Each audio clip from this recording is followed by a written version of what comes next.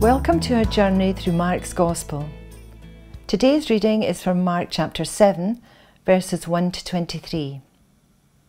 Let's listen for God through these words. The Pharisees and some of the teachers of the law who had come from Jerusalem gathered round Jesus and saw some of his disciples eating food with hands that were defiled, that is, unwashed. The Pharisees and all the Jews do not eat unless they give their hands a ceremonial washing, holding to the tradition of the elders. When they come from the marketplace, they do not eat unless they wash, and they observe many other traditions, such as the washing of cups, pitchers, and kettles. So the Pharisees and the teachers of the law asked Jesus, Why don't your disciples live according to the tradition of the elders instead of eating their food with defiled hands? He replied, Isaiah was right when he prophesied about you hypocrites. As it is written, These people honour me with their lips, but their hearts are far from me. They worship me in vain.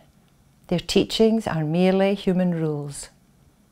You have let go of the commands of God and are holding on to human traditions. And he continued, You have a fine way of setting aside the commands of God in order to observe your own traditions.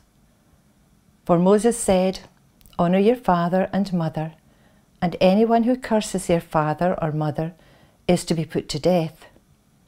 But you say that if anyone declares what might have been used to help their father or mother is Corban, that is, devoted to God, then you no longer let them do anything for their father or mother. Thus you nullify the word of God by your tradition that you have handed down. And you do many things like that. Again, Jesus called to the crowd, called the crowd to him and said, Listen to me, everyone, and understand this. Nothing outside a person can defile them by going into them. Rather, it is what comes out of a person that defiles them. After he had left the crowd and entered the house, his disciples asked him about this parable. Are you so dull, he asked. Don't you see that nothing that enters a person from the outside can defile them? For it doesn't go into their heart, but into their stomach and then out of the body.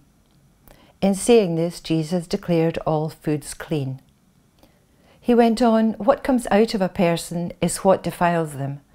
For it is from within, out of a person's heart, that evil thoughts come sexual immorality, theft, murder, adultery, greed, malice, deceit, lewdness, envy, slander, arrogance, and folly.